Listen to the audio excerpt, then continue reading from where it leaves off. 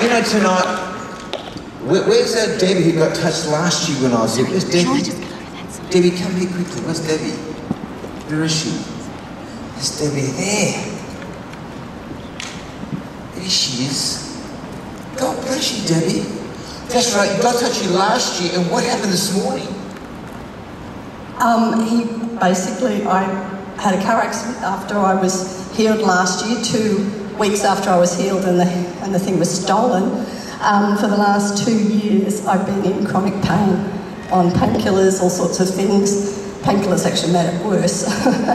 and um, this morning I came in and I'm like, I couldn't even sit up the back with the rest of our family because our kids were worshipping in the worship tent this morning, but I couldn't sit on the angle because my back was going to be so bad.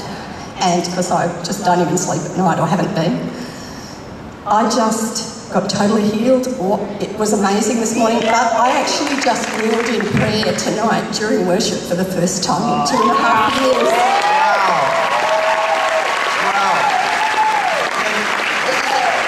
And, and, and just explain, how bad was the pain you were suffering when you came this morning? Uh, nine out of ten, probably. And that was with painkillers. You, you got to understand the power of the Lord is present to heal. You know, she had this chronic condition. You know, this is how the devil works. She got healed a, more than a year ago, 40 months ago, the last time we were here. Two weeks later, she had an accident, and all of a sudden, she gets terribly injured. I'm going to tell you, there's a God in heaven who can touch your life and set you free. And, and the doctor said this was curable. Yeah, yeah. It stopped my life basically for the last year and a half. Doctors say you have to live with this pain. Yep, I was going to be in a wheelchair and I needed a knee replacement. I might add that the brace has been off my knee ever since this morning. Yeah! Wow, and so, and so, and so how long were you in a brace for? Um, oh, over a year. And this morning you were running. Yes, You were a triple A, a chronic 9 out of 10 pain of a brace, and you were running. yep. Is that amazing? Wow.